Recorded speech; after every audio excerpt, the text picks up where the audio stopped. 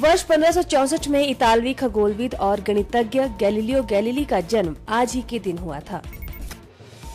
आज ही के दिन वर्ष अठारह सौ उनहत्तर में मशहूर उर्दू शायर मिर्ज़ा गालिब का हुआ था निधन। आज के दिन वर्ष 1948 में भारतीय कवित्री और स्वतंत्रता सेनानी सुभद्रा कुमारी चौहान का हुआ था निधन।